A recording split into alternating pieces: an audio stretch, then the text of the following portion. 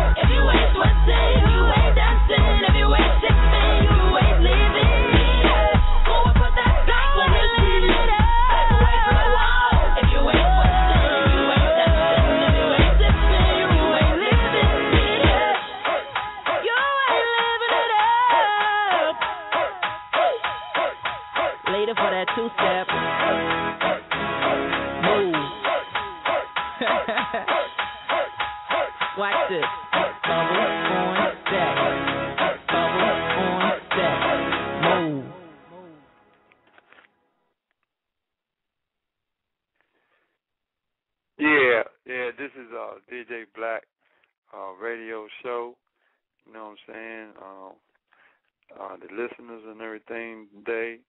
You know what I'm saying? This this is a good day, you know, it was on a Saturday. You know, it might be drizzling a little bit out there here in Gaffney, South Carolina, but everything all good. Now see today see that was uh the song by Tambra uh Bubble called Living It Up. I told her I was gonna play her song, so I did that, I'm showing love. And uh, I have another female artist too that I'm gonna play her song today is uh, her name is uh, Valentina called Dope Man. I'm gonna play that. Then I'm gonna play my song from off my new album called uh, Kick the Bass. Play that. But for right now, my subject for today is um, civil rights. You know what I'm saying? Uh, what is uh, civil rights really consist of? Because like um, Trav- Trayvon Martin um, when they found uh, Zimmerman um, not guilty, first thing um, the president and um, Eric Holder on them, they were thinking about um, filing a civil rights um, claim, and you know you have to know all the grounds and issues and everything before you even um, you know put the paperwork in. You don't want to put the paperwork in wasting all the time, then you you know you know you ain't gonna get no relief. And they say you don't have no merits. So basically, uh, um, I'm talking today is like almost education educating you about you know your civil rights. So you got two different types of of issues that they do in court. You know, you got civil division, and then you got criminal division. And you know, letting you know both of them different. Uh, you might lose in the criminal division, and in the civil division, you can win. It's a whole different type of laws. It's almost like uh, you get administrative remedy type things, administrative type stuff. Um, you know, because I can talk a little bit about it because you know I got paralegal certificate in law. But uh, civil rights are the rights of individuals to receive equal treatment and to be free from unfair treatment or discrimination in a number of settings, including education, employment, housing, and more, based on certain legally protected characteristics of your rights. And um, well, some people know about the civil rights movement. You know what I'm saying? It refers to efforts towards achieving true equality for African Americans in all facets of society. But today, the term civil rights is also used to describe the advancement of equality for all people, regarding race, sex, age, disability, nationality, religion, or certain other characteristics. But um, when civil rights was started, it's for to protect the individual rights, you know, being treated equal and all this stuff, and you know, equal treatment and stuff like that. But the African Americans were getting treated bad, so um, somebody stepped up to the plate. African Americans stepped to the plate and said, "Hold up, these guidelines underneath this Civil Rights Act include us." See what I'm saying? And that's what helped start the Civil Rights Movement because they saw a title of that statue fit them, and they used that, and um, and that's how the civil rights movement, and Martin Luther King, and all of them got together, and um, we're not really getting a hundred percent of our civil rights today. You know what I'm saying? And we're only getting portions instead of 100% because we still get discriminated against because really nothing wasn't done when Trayvon Martin got killed. nothing happened. You know what I'm saying? Um, another thing, um, going into the civil rights thing, uh, where do the civil rights come from? Now, a lot of people, you know, that's not in law, but some people might be listening that might be in law. Uh, people, if you're going to listen or call in, number six four six nine one five 8297. Now, civil rights, this is where it comes from. See, most laws guarantee and regulating civil rights originated at the federal level, either through the federal legislation or through federal court decisions, such as those handed down by the United States Supreme Court. So the states also pass their own civil rights laws, you know, usually very uh, similar to those at the federal level in um, cities and the counties they can enact their own ordinance and laws, you know, related to the um, civil rights for their um, people and everything. You know, not the um, also um, now you know that the civil rights movement started at the federal level. So when Martin Luther King and all of them were doing their marches, talking about the civil rights movement, it was really a, a federal you know what I'm saying? Getting the, the federal, the, the government involved, saying their rights being violated by the local laws and everything. Because the federal government was to oversee the state government, and that's what they did. They went on to a federal level. But a lot of people saw Martin Luther King out there doing what he was doing, but didn't know that he was getting the, the federal to enact to get in there, making sure they get their rights. Okay. Um, now another thing I want to speak about, like your know, civil rights versus your civil liberties. See, liberties, you know, well, um, dealing with um, unequal treatment, don't be discriminated against, and you know you have some type uh, uh, liberty interest in a whole lot of stuff. You know what I'm saying? And you have to know, well, you know what that is. So this is like this is kind of almost like the difference of it. Like civil rights are different from the civil liberties, and the concept of civil rights has evolved around the basic right to be free from unequal treatment based on certain protected characteristics like race, gender, disability, etc., while civil liberties are more broad-based rights and freedoms that are guaranteed at the federal level by the Constitution and other federal laws.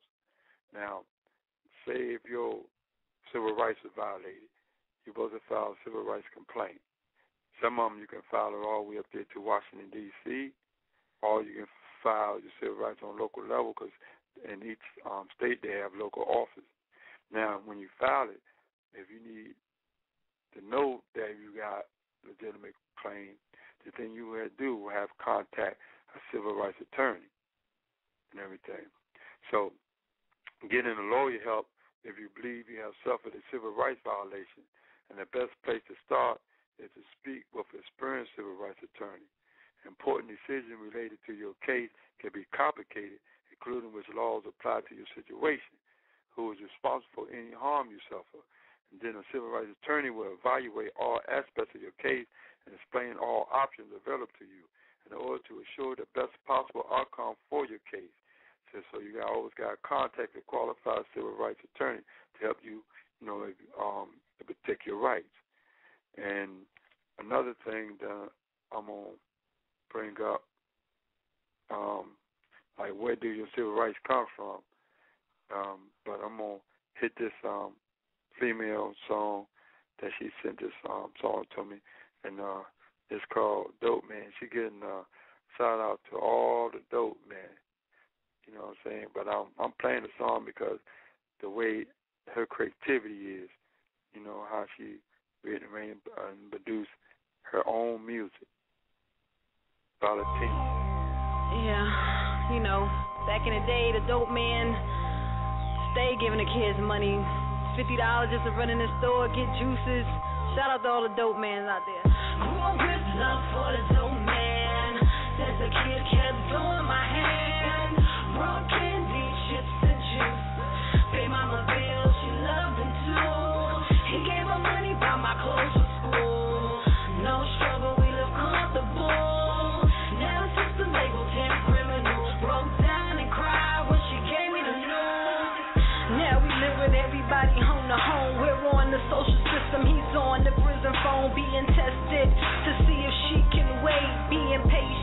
don't put food on the plate. Niggas he used to run with all up in the face. She ain't even got a fucking conversation, made him pay. Mama laughing at these young bitches today for your light bill money. Get your pussy away. Pussy away. Grew up with love for the dope man. Since a kid kept throwing my hand.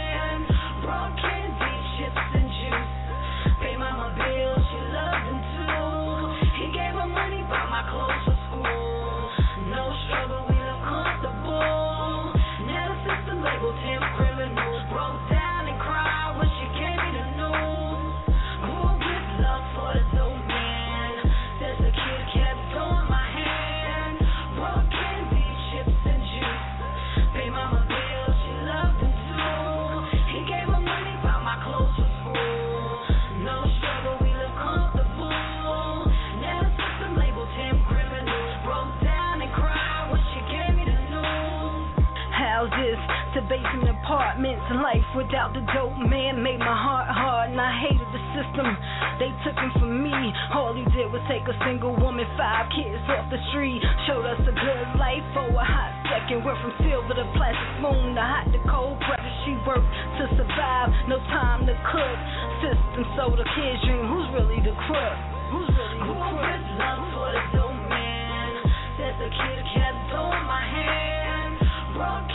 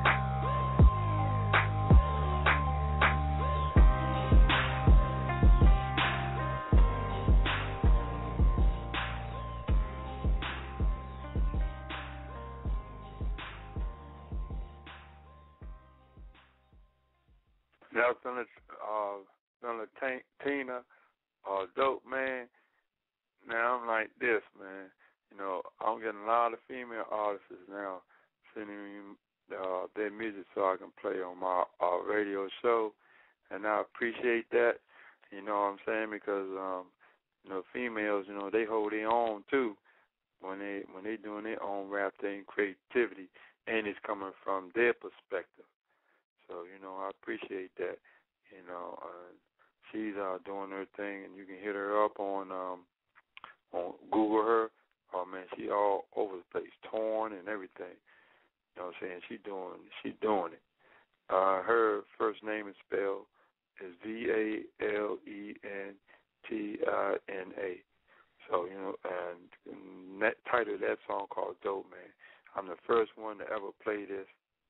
You know what I'm saying? She haven't catered to the radios or nothing. I'm the first one to play it.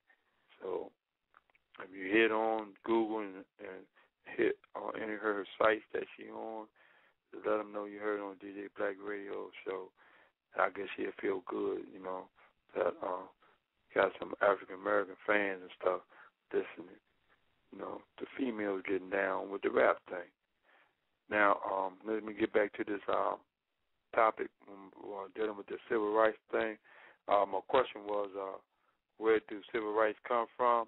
Okay, most laws prohibiting discrimination and many legal definitions of this discriminatory acts originated at the federal level through either, through either federal legislations such as the Civil Rights Act of 1964 and the America, Americans with Disability Act of 1992, and then other federal acts uh, supplemented by our court decisions uh, dealing with prohibit uh, discrimination in uh, voting rights.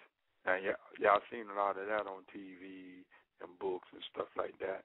Uh, housing, extension credit, public education, access to public facilities. You know, like in the civil rights movement, um, some of the African Americans saying that it was white um, drinking fountain, and the other one had black drinking fountain and stuff like that. Um, all federal court decisions, such as the United States Supreme Court case, Brown versus Board of Education, which was a nationwide racial segregation. well, uh, which was a nationwide racial dis, um, segregation of public schools. Other Supreme Court cases have shaped the definition of the civil rights violation, like uh, sexual harassment. They included that, and then affirmative action uh, with um, Jesse Jackson and Al Sharpton and all of them um, Black Caucus and all of them got together doing uh, affirmative action stuff. Uh, Civil Rights Act 1964, the federal law making employment discrimination unlawful. And if you feel that your civil rights were violated, consult a civil rights attorney and tell him your complaint.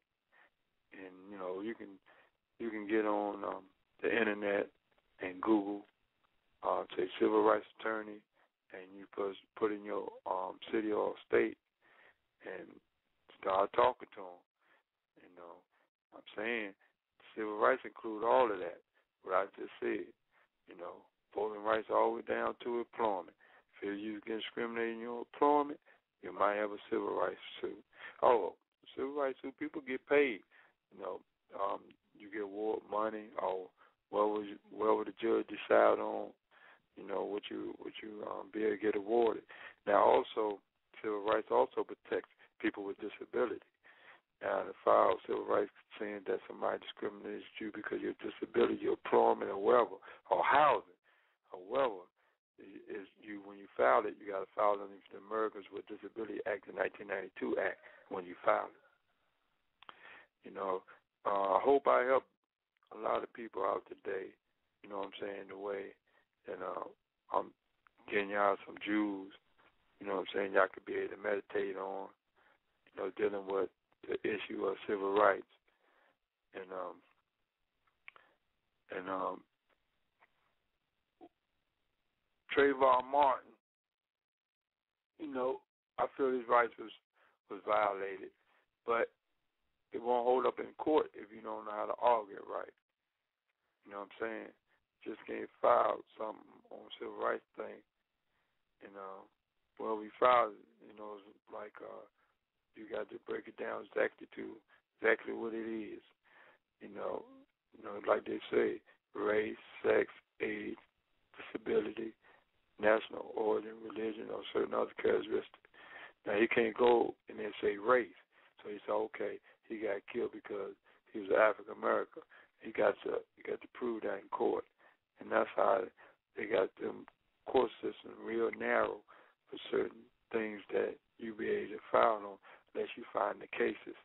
You know, you find the cases back you up, then you can have your argument, but not just going in there just one little issue. You got to have a lot of stuff backing you up. You know, case law and everything. You know, for the judge to be able to hear, consider so that you got any merits, because it's more than just a complaint alone. Um, yeah, I'm getting ready to hit my um song. Uh, DJ BLAK. Um, I got my little single called "Kick the Bass."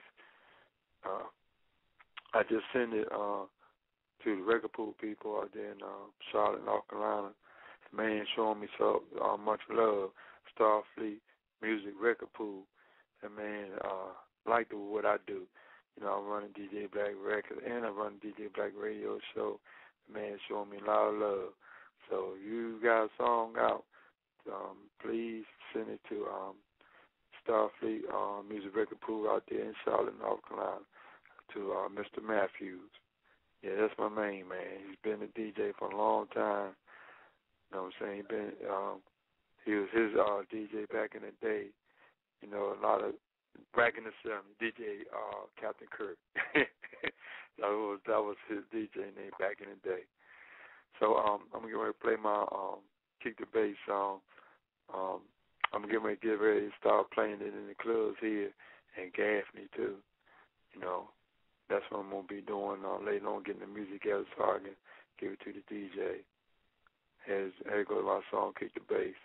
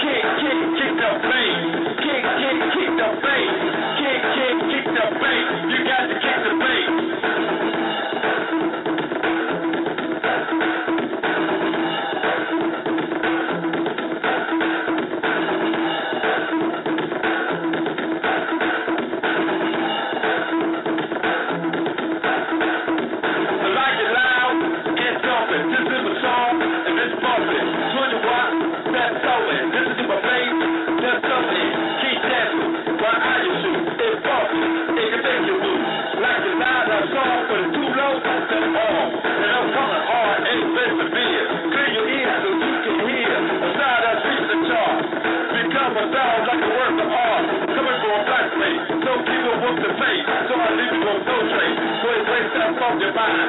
Like his eyes are I can find that one. Still left behind. He can see, but now he's blind. And style, you cannot spin. So a blend, a style with no end. Like it loud, now saw the trend. Neither was alone, step for ten. This time will leave you today, but you know be amazed that was the play. Kick, kick, kick the bass. Kick, kick, kick the bass. Kick, kick, kick the bass. You got to kick the bass.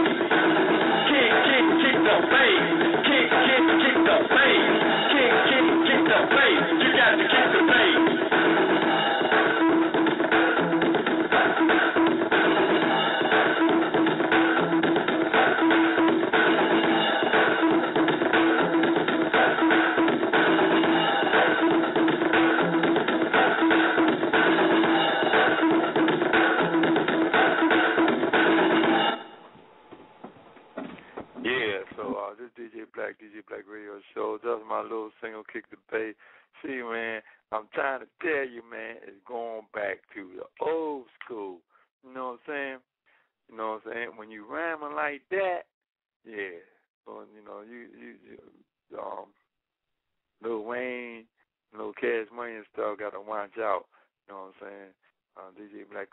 coming out South Carolina, but just put that little song, Kick the Bass. You know what I'm saying? Um, I'm supposed to be talking on Universal Records.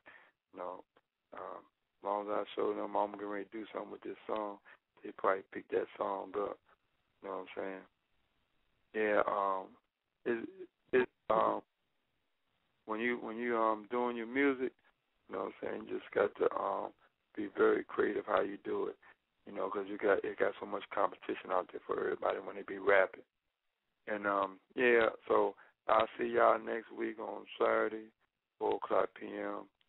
Be talking about some other issues and topics. Be looking at me on my Twitter, uh, B-L-A-K DJ on, on my Twitter and tweet me and stuff. And um, I'm to be, um, yeah, yeah, just do that. My, my show is uh, for 30 minutes for right now. I'm bringing up certain topics dealing with education thing. And um, yeah, um, just just hit DJ BLAK um, kick the bass, wwcdbaby.com slash CD slash DJ BLAK5 and, and uh, buy that uh, single for 99 cents. Trying to put Gaffney Carolina on the map with just with that little, little song, Kick the Bass. Shout out Billy Bushead and everybody. I'm getting ready to get ready to get off this line. They're getting ready to cut me off because my time is up. Tune in to DJ BLAK Radio Show every week straight out of Gaffney, South Carolina. And like a shout out to Son of Bird and everything. Um, peace. See y'all next week.